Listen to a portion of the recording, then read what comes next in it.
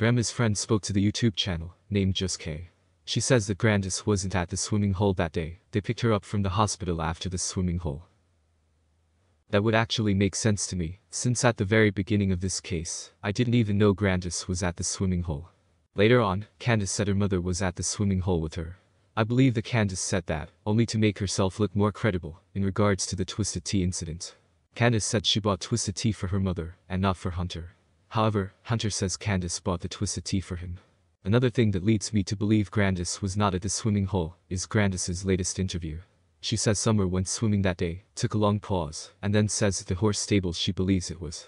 Now, obviously that statement raised a lot of eyebrows, since Grandus was said to be there. She wouldn't have to think about it, it would take her less than a second to even describe the place Summer went swimming at that day.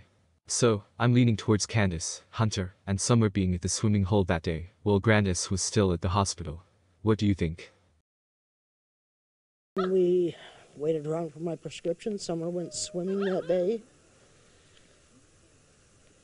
at the horse stables, I believe it was.